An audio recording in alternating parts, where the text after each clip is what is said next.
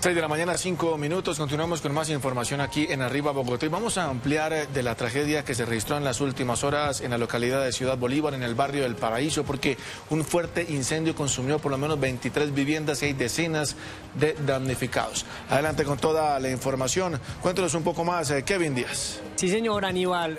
Precisamente, pues muchas personas se encontraban dentro de las viviendas allí. Dicen que al parecer se trataría de un cortocircuito. Muchos salieron corriendo y los bomberos pues estuvieron hasta altas horas de la noche tratando de apagar esta conflagración. Precisamente estuvimos con la comunidad, prácticamente lo perdieron todo y están esperando las ayudas humanitarias. Van cinco casas, según ya. En varios videos quedó registrado el momento en el que inició la conflagración en el barrio El Paraíso de la localidad de Ciudad Bolívar. ¿Sola manguera trajeron? El fuego consumió rápidamente varias viviendas donde se encontraban decenas de personas, entre ellas niños y adultos mayores. Joana, quien es madre cabeza de familia, cuenta que estaba con sus hijos cuando empezó a quemarse las viviendas. Yo tengo cuatro niños, yo soy madre cabeza de hogar, soy sola. La verdad, pues eso fue momentos de angustia. El fuego en cuestión de segundos se calcinó todo. Nos tocó salir con lo medio que teníamos, la medio ropita, salir corriendo. Los vecinos pues intentaron ayudar, pero pues no pudieron hacer nada.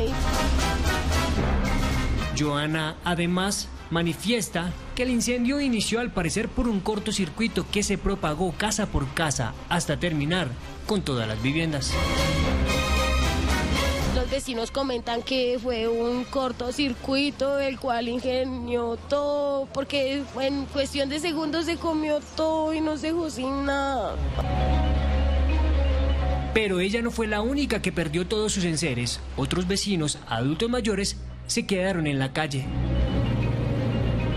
Yo perdí mi televisor, mi lavadora, mi estufa, mi juego de alcoba, todo. Yo perdí todo, mis cobijas. Me compré unas cobijas térmicas, se me quemaron hoy. Cuando llegué acá, bueno, la casita de nosotros estaba completamente, pen- los coroticos todo, quedamos sin nada, hasta sin ropa.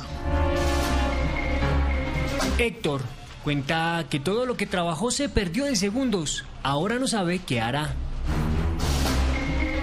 A uno, no sé, impotencia al ver de que no solo en mi casa, sino que la de muchos vecinos, la de gente guerrera que consigue las cosas con las uñas. Y ese esfuerzo que poco, mucho, pero ese esfuerzo de la gente, de las personas. Y le da uno duro ver esto y pues lamentablemente pues gracias a Dios eh, no se perdieron vidas humanas.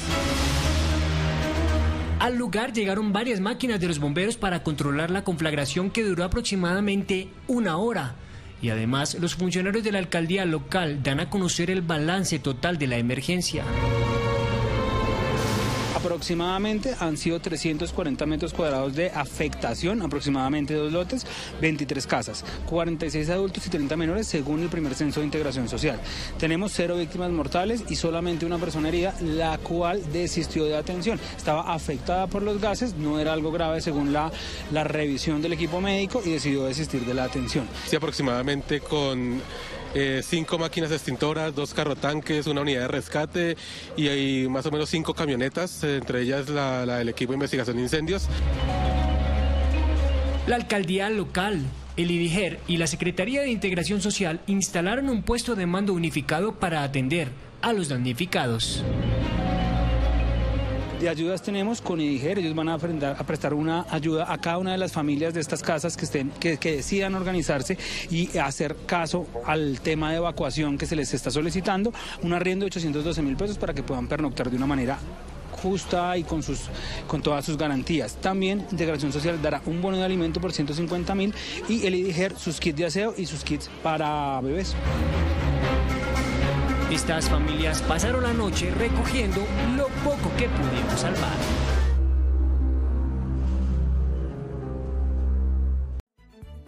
Suscríbete a nuestro canal de YouTube y entérate de las últimas noticias. Somos City TV.